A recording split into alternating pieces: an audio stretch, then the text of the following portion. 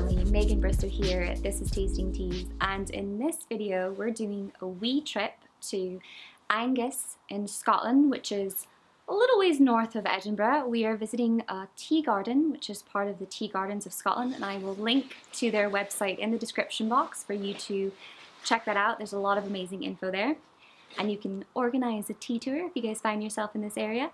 Uh, that's what I've done today. We are visiting the tea garden of Susie Walker Munro. Is that right? That's right. That's right. Just Lovely. checking I got the name right. And what we did is we did a tour of the garden, took some photos. I will share with those uh, those photos with you guys in the blog post. But in this video, what you're going to see is tastings of two different teas that she has grown and handpicked and hand produced here in her tea garden. And we're also going to get to speak with her a little bit, and she's going to tell you a bit about those two teas that we tasted. So how they were grown, processed, and then how we brewed them. So make yourself a cup of tea. Come and join me.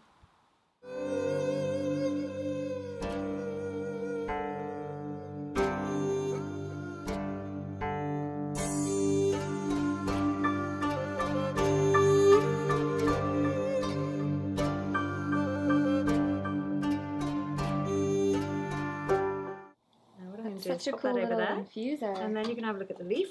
yeah. There we go.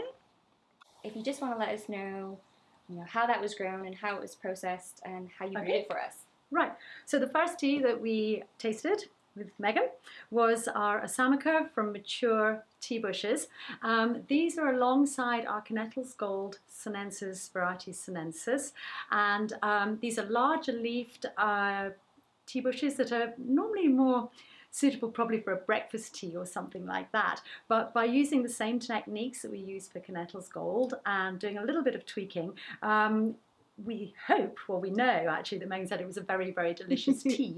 um, it's a step up from a breakfast tea. It's definitely not that. That is such a gorgeous little reddish orange. Look, gold too. You can see the gold in it.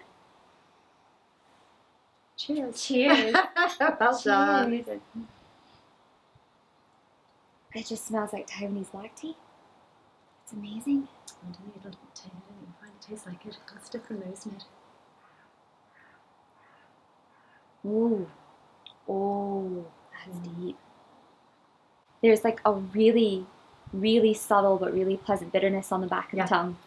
The florals are right there at the beginning, right now, and then it's, it's a lovely tea, isn't it? And you roll it around, that's when you start to taste that maltiness you get from that. That's good. Yeah. Oh, Oh, I'm so glad you like it. Oh. wow. My hardest thing is always describing mouthfeel. So like, I, like I lack the vocabulary for it, but it's. I like this one because it's really light. Like I said, there's no there's no astringency but it's action going there. It's quite silky again. Yeah, it's, it's really- it's similar to the I was gonna say Kinettles Gold. soft. I was gonna say it's soft, but But silky it's like Kinettles Gold again. It's grown Yeah. on the same soil, same conditions, but it is just deeper. The leaf is different. When you swallow, okay, that's what it reminds me of. When you swallow, just on the back of the tongue, it's that sensation that you get when you eat like dark chocolate, or even I, get this a lot with black teas that um, like espresso crema. Sometimes, um, not to say that it's anything like espresso, but it's just that sensation you get on the back of your tongue with those things that are pleasantly, Tingling. yeah, tingling, pleasantly tingling, yeah, yeah. pleasantly, yeah. Oh, the glass. Oh. The glass smells so good. we had a lovely, lovely lady from Japan, and she did a lot of glass waving, and she just sort of would do after she'd finished it, she was doing this, Do this. and then she was smelling it, Right. and it does it changes it again. It's really weird. I suppose kind No, I'm not sure what the science behind it is, of but softer. doesn't it? Yeah, it's softer, more. That actually really brought out the florals Yeah, again. Like it did. oof. and it was just really interesting the way that she has a school, a tea academy uh, in Tokyo. And it's just quite a nice way of lifting different flavours from it. It's got like a really honeyed sweetness, Mm. very honeyed sweetness.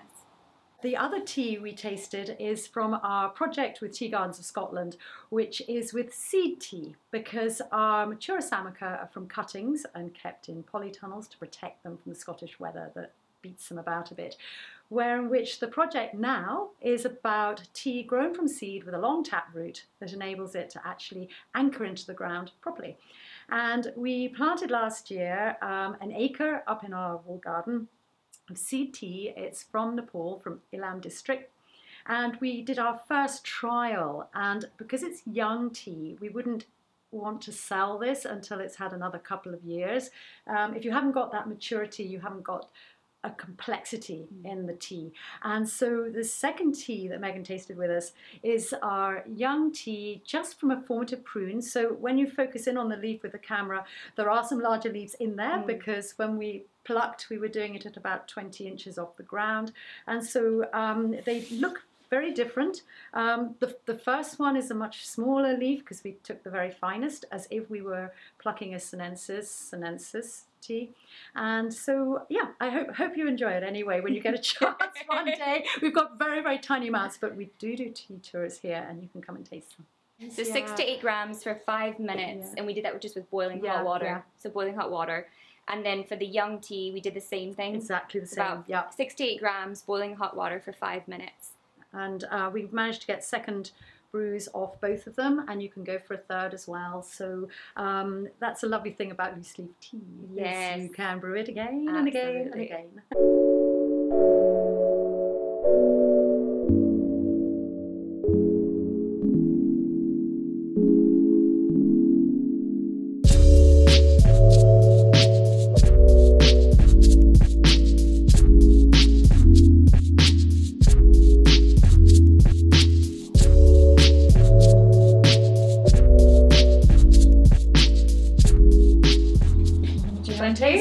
really interested to hear what you say about it's on me. It's on you.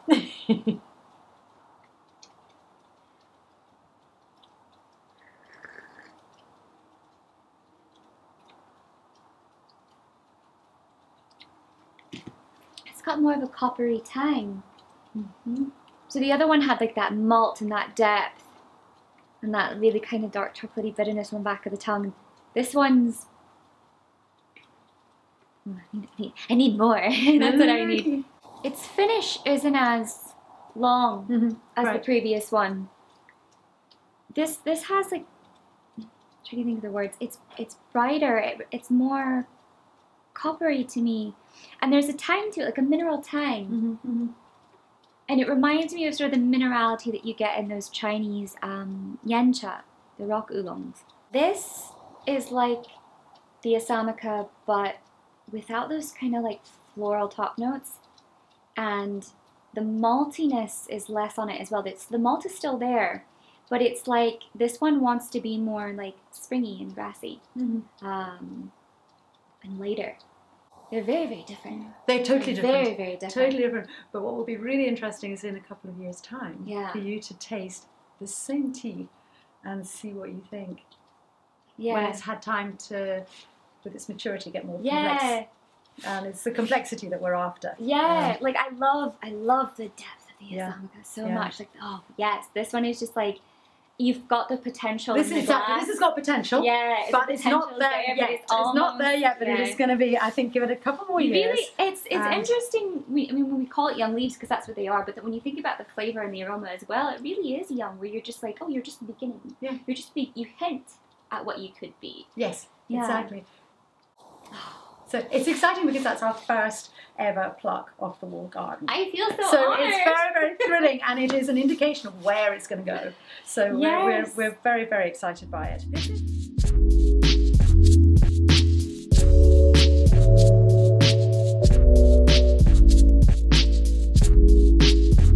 And I think why it's because it reminds me of whiskey. I know, I think, and also no hangover. the second infusion doesn't hit you uh, in the back of the mouth and the back of the tongue the way that first one did, you know, when you're eating dark chocolate. But it is softer and a bit, it's a bit smoother now. It's kind of it's like languid. It's just like, yeah, oh, yeah. we're here, we're here now. It has a bright sweetness to it that's kind of uh, that reminds me like the sweetness of sweet plums, but minus the acidity. Right. But there's no, you don't get that oh my my my jaw. I know, I mean, yeah, and it always gets the, the saliva come, and you think, oh, hang on. literally, the, the, the the sweetness of the aroma that hits the nose, like mm-hmm. that's that's what it has, is that right sweetness. So we have here. Take take note of this, guys. Seaweed shortbread. Mm. Produced here in Scotland. Two of my favorite foods have been combined. Never thought it would be so amazing, but mm. earlier, this has been the best afternoon. Mm. like any afternoon, I get to spend talking about tea, looking at tea, learning about tea, drinking tea. I'm just like life. This is my Favorite life right subject. now. Isn't it great? I know. So guys, that has been a wee video of me tasting two different Scottish teas. I hope you enjoyed it. Comment down below if you have any questions. I'm going to link to my blog post that's going to have some photos of the tea garden and talk about a bit about the tour that I did and about the teas as well. And also, I'd really like to thank Susie and Tea Gardens Scotland in general for letting me come and tour this place. And like I said, I will link to their website in the description box as well for you to check out. Um, if you want to get in contact, make a arrangement for a tour, anything like that. This is just the very beginning of the sort of Scottish tea tea industry that I really want to explore. So if you really like this type of content, please let me know. Give me your feedback. Um, I really want to do more of this stuff and share it with you. In the meantime, wherever you are, as usual, enjoy a good cup of tea. See ya. I that out. See, this is what I mean. Like, no, no, no, no, I'm not surprised.